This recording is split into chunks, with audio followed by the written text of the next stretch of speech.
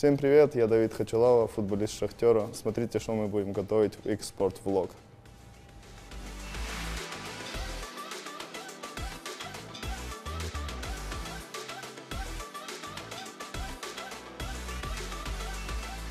Меня в городе, наверное, 10 из 10 спрашивают, как там в Батуми, хотим там слетать. Так что если я думаю, что если какой-то бизнес открыть в Грузии, то я могу украинцев заводить туда. А які у тебе риси характеру, такі от е, темперамент, можливо, якийсь е, ти почуваєш, що ти от грузин? Ну, я не знаю, я, я сам не сужу с себя, но говорят, что я чуть-чуть пылкий. На поле ужасный. На поле, я не знаю, иногда выхожу, сам, сам как-то стыдно становится. В основном с судьями очень много разговариваю. А українці ну от в Шахтарі не такі м, темпераментні, як ти. Ну, как темпераментно, это, наверное, нервы больше. И есть, есть парочка таких, особенно, я думаю, Степаненко нервный тоже, как и я. И в основном остальные спокойные. Сейчас в этом сезоне, не знаю, сам, сам удивляюсь, наверное, чуть успокоился, но в прошлом сезоне у меня и позапрошлом сезоне у меня где-то, наверное, желтых 15, наверное, только из-за разговоров и из-за моих нервов, которые ненужные были. А що тобі Фонсека потім каже? А я когда в команду пришел, э, мне в первую очередь это говорят, что типа, у тебя все есть, там, все качества есть футболиста, но у тебя с головой чуть-чуть проблемы. Иногда бывает, допустим, э, какой-то спорный момент, я хочу к судье подбежать, я бегу там пару метров и возвращаюсь обратно. И сам с собой разговариваю. Если я раньше под- подбегал и там грубо говорил, сейчас я подбегаю и такой, ну почему? Мое мнение, что не было фола. Давайте обсудим. В дитинстві ти був шибай голова? Не, я был э, непослушным, конечно, и очень активным был. И поэтому, я думаю, меня в спорт отдали, чтобы изб- избавиться на пару часов.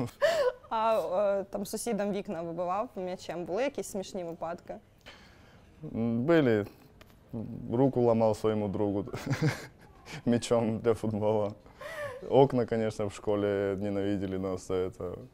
Ну, в принципе, такие были эпизоды. І що з тим другом потім було? Ну, с другом он как бы скоро закончил карьеру теннисиста. Каладзе для Грузії це як Шевченко для України. Конечно, так же, потому что м, я думаю, что это почти невозможно выиграть две, две Лиги Чемпионов и играть. Ну, он играл за великий клуб, и все его знают, все его любят. Ти в дитинстві ой, за кого мріяв грати, за який клуб? Е, Можливо, були якісь е, там команди, за яких В детстве я не, пон- не понимал, что такое клуб, и я мечтал играть в сборной Бразилии, если честно. Да паспорт просто папа не сделал. Я всегда чувствовал себя бразильцем просто. А. Не, потом, конечно, у меня де- в детстве мечта была там за Динамо Тбилиси, потому что грузинская самая большая команда. які в тебе ще були мрії? Я вообще, у меня тяжелое детство было и мечты не было. Да не знаю, я в детстве мечтал стать футболистом. Для меня это было главное, потому что утром я просыпался, брал мяч, шел во двор, кроме, ну, в школу не ходил, понятно, папа, папа не знал, и мама не знали об этом.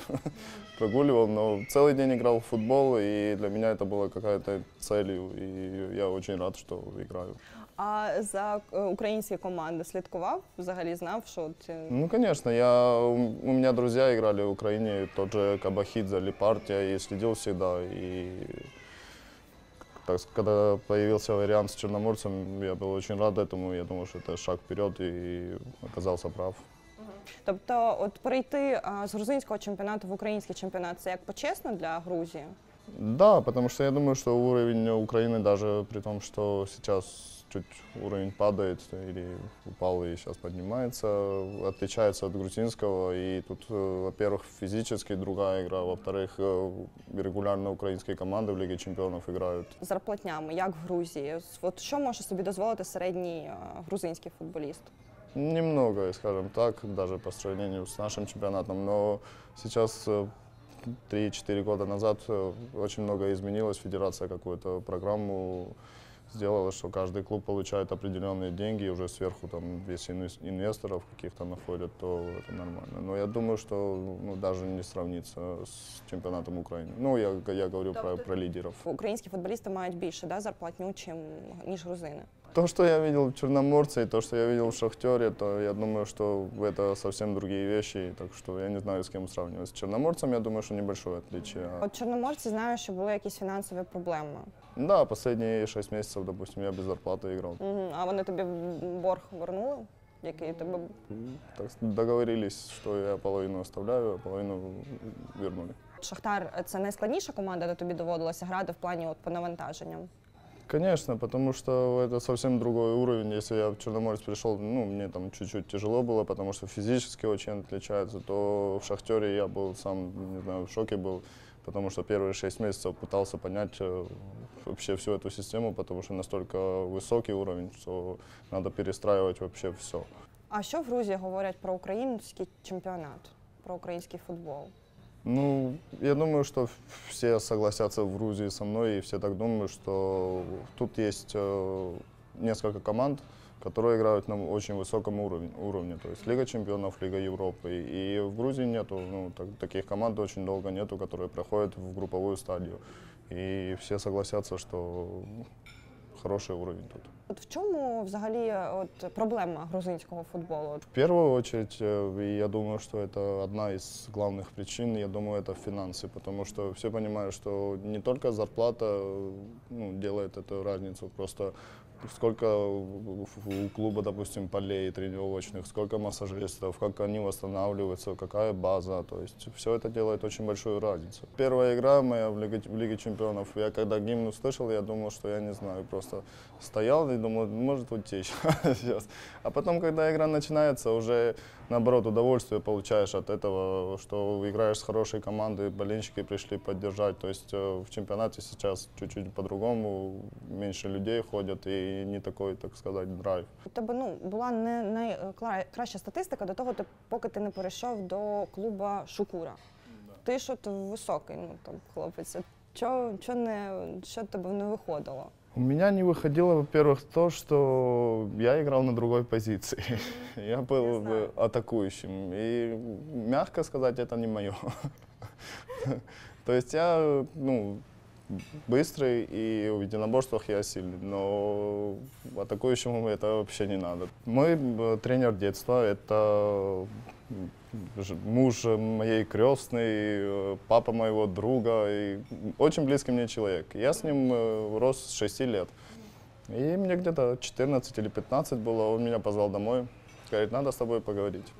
Ну, я думаю, что, не знаю, что-то по футбольному или просто так напихать, потому что бывало такое. Ну, бывало, да, он так в роли то- второго папы был. И он говорит мне, что надо что-то поменять.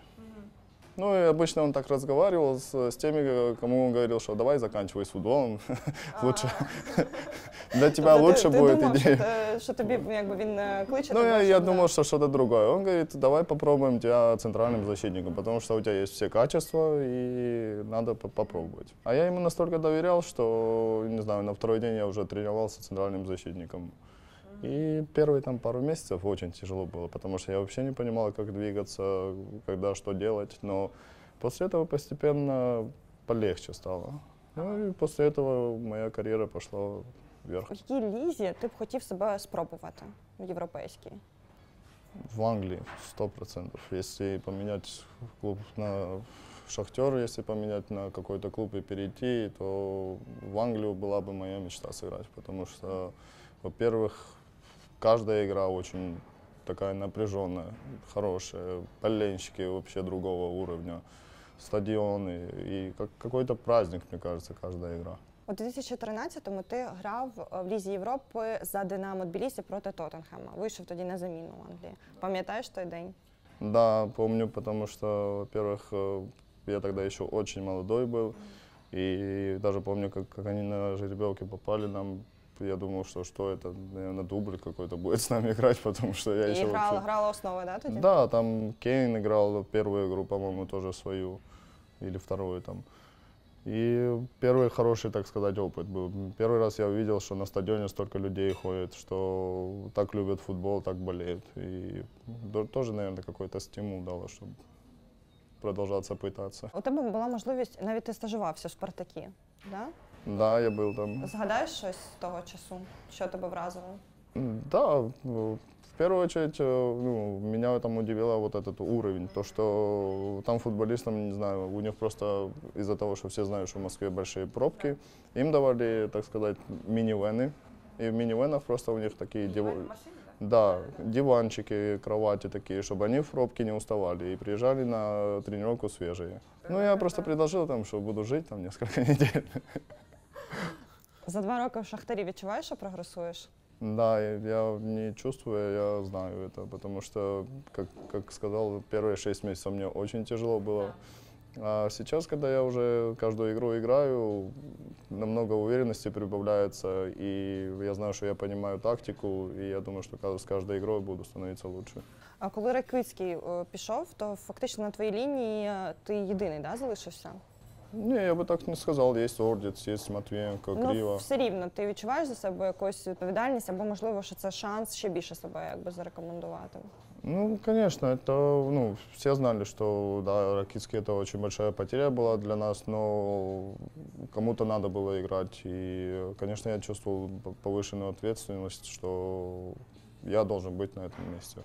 А коли Ракицький пішов, щось в клубі казали про взагалі про нього? Ну там Удачи ему пожелали только, потому что это, ну, я думаю, что это футбол. Конечно, у всех есть свое мнение, там, в Россию, в Россию ехать или нет, но у Ярослава, во-первых, есть семья, которую он должен прокормить. Во-вторых, э, чемпионат, э, не знаю, я думаю, что не, не меньше уровня точно. Болельщики больше ходят. Он, он так решил, и это его делает. А пам'ятаєш, Грузія також переживала деякі військові от, е, м, часи, як зараз переживає це Україна. Тут э, очень долго длится все это. И, во-первых, ну, в Грузии, да, тоже мы потеряли территорию, и все до сих пор сегодня, ж- не знаю, как это вспоминают или как, как больше сказать, болеют, ну, больно им за это. Но когда вот последний раз в 2008 было, все настолько быстро произошло, что никто не понял вообще. Там три дня буквально угрожали уже, что они будут в Тбилиси заходить. Танки уже стояли возле входа в Тбилиси. Семья моя была в Западной Грузии, там 400 километров до Батуми как раз отдыхали, а у меня сборы были в сборной. И оказалось, что между нами просто война идет, и там танки, и они не могут выйти. Я тоже не, не могу туда поехать, так что как-то нервное очень состояние тогда было. Но это боль остается больше то, что мы территории потеряли и людей потеряли. А так, чтобы, чтобы ощущалась именно сама ситуация после, то нет. Мы м, похожи чем-то, потому что ну, и ситуация сейчас складывается аж одинаковые от одних людей. А хто твій найбільший товариш в команді або, можливо, в інших клубах? Так, к сожалению, Виктор Коваленко. Я его очень люблю, но бывает его клинит. Он популярный человек, у него времени нету. Не, пытаемся там на обед выбраться иногда после тренировки. Вечером футбол можем посмотреть вместе. Гравці Динамо і Шахтаря. От Ти бачив, бачиш е, між ними, як вони конкуренти на поле, чи е, спілкуються вони е, Вне поля? Вне поля, да. Конечно, у нас на поле война. У нас, ну, когда я на поле выхожу, я ненавижу все Динамо, и я хочу у них выиграть и выйти с игры. Но после игры все это заканчивается, и, э, не знаю, конечно, есть какие-то м, конкуренция, скажем так, но общаемся все нормально друг с другом. Допустим, я знаю, что Кривцов и Сидорчуки кумовья, по-моему. В личной жизни тебе может человек понравиться, с ним дружишь, но когда вы на поле выходите, особенно один в футболке Динамо, другой Шахтера, то там уже дружбы нету. Скажи, а як жартуєте в команді? У нас вообще веселье в команде. Например, э, Кривцов, ну такой, сейчас не смешно, вот рассказываешь, не, не так смешно, но на месте очень смешно. Кривцов у нас всегда шутит. Бывало, что он скотчем заклеивал тапки, выкидывал кому-то. Или э, Кудрику машину отогнали, на базу он приехал, э, только купил машину, и с ним пошутили, что типа украли там 6 Мазд. И он приехал на базу, заходит в раздевалку, пацаны, когда тренировка была, взяли ключи и отогнали его в лес просто. И он уже собирался полицию вызвать, когда ему дали ключи. Он, он полицию вызвал, я скорую. Сейчас э, мистеру подарили очень классный подарок на день рождения, там носки, бутсы старые, порванные, кроссовки я подарил, один кроссовок точнее. Ну, им принесли Vuitton, какую сумку купили всей командой, и достали эту сумку и просто в пакетик положили все, что нельзя было. Там не надо было воду, бананы. Там. И он такой, спасибо, спасибо, открыл, потом говорит, что это такое. Это где мой подарок? Тата е, сильно кричить на захисників. Такое бывает иногда, его тоже, Ну, Ти ж Сказати. стоїш м, якби Бли- попереду. ближче, да, ближче тобі всіх, ж, мабуть, да, все більше більше- за все е, больше всех, попадає. походу, нам достается, если он кричит. но В раздевалке э, мистер обычно разговаривает. А Фонсека вчить своїх центральних захисників першому пасу. Ну да. Он, э, во-первых, знаете, он, э, я думаю, что тут, так грубо сказать, он помешан на тактике. То есть он любит контроль, он любит, э, как команда перестраивается, как команда бегает. И у нас за неделю, наверное, 4 дня только тактика. То есть э, куда отдавать передачу, как отдавать передачу. И мы все это отра- отрабатываем каждый день. А хто із форвардів в Україні тобі найнеприємніше? Ну вот я один раз играл э, против Калинича.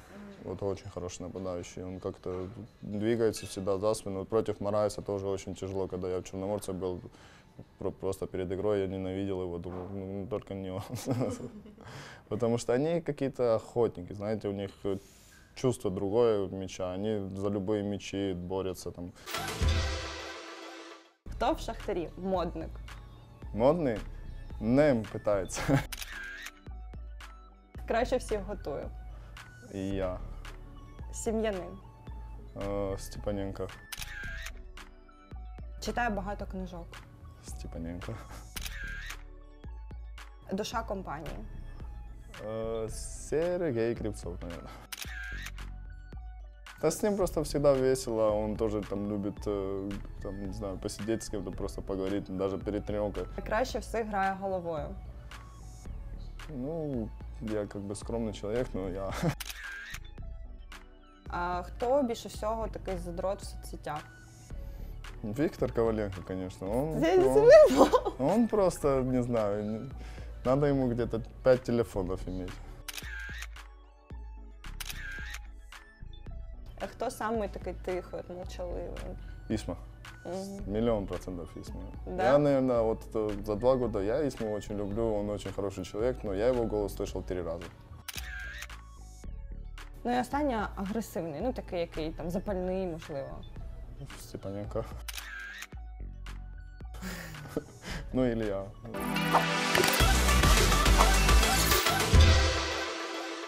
Берем тесто, Угу. ложим фарш и берем. Смотрите, смотрите на мои пальцы. Да. Я один палец ставлю, вот, типа как бы внутрь, можно сказать, а второй здесь. Угу. Ну и получается тесто налаживаю на палец Мгм. и зажимаю. Тесто на палец и зажимаю.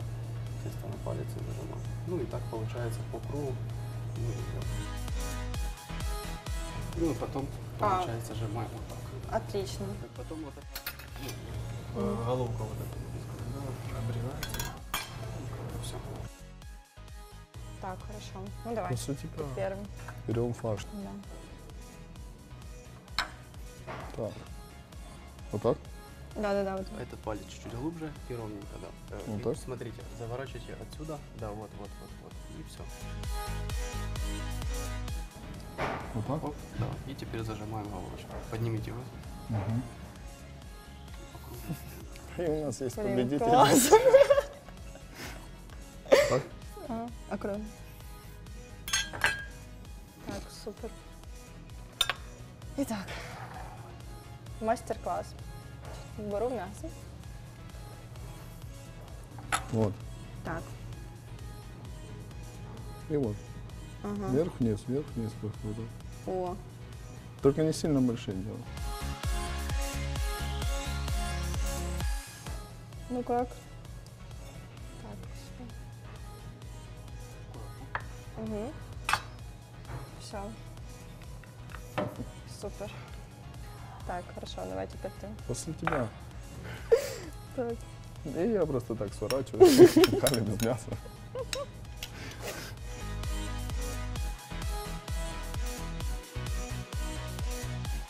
Давид, как дела? Не знаю, я, я напря- напряженный чуть-чуть. У вас самое красивое вышло. Лучше всех.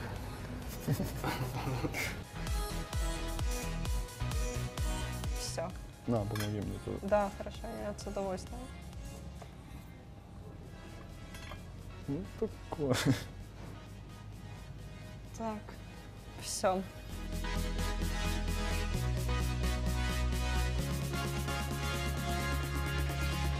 Ну, придется по- покушать. Ну, или так берешь. Да, беру. Сначала Угу, откусываешь вот так. угу. Так много. Потом надо сок выпить. Мгм. А микрофон можно выключить? Я, оказывается, очень соскучился по хинкали. Смотри, самое главное, чтобы был как, была как сумка, чтобы сок не вытекал оттуда. Мне кажется, вот это моя была. Да, а- одну оставили была твою, моя? не сказали тебе, чтобы ты узнал. Так, а вот это твоя. Да, наверное. Да. Хочемо, щоб ви е, скуштували от мою і е, нашого гостя, і Ваша вот эта, Да. наверное, да, самая маленькая? саме красиве. Да. Да, и самая красивая. Ну, давайте я сейчас попробую что-нибудь. Без перца? Хорошо? Да? Хорошо. Спасибо большое. Э, и ваша, да? надо? Да, і ви повинні оцінити, яка була краща. Ваша, ваша, ваша. По-моему, вот эта. Да. Ну, ваша даже хорошая. Фарш-то, в принципе, был одинаковый. В общем, е, за 10-бальной шкалой сколько дадите мне и сколько дадите Давиду? Ну, вам 9, а вам 7. Спасибо большое. Пожалуйста. Спасибо большое. Спасибо большое. Что ты мне скажешь? Что ты мне посоветуешь, как в дальнейшем готовить? Я тебе посоветую, да, в дальнейшем я буду, если что, грузинскую кухню готовить, а ты уже пасту, там, ризотто, не знаю. Или в Спасибо. ресторан. Спасибо тебе большое. Спасибо, что пригласила.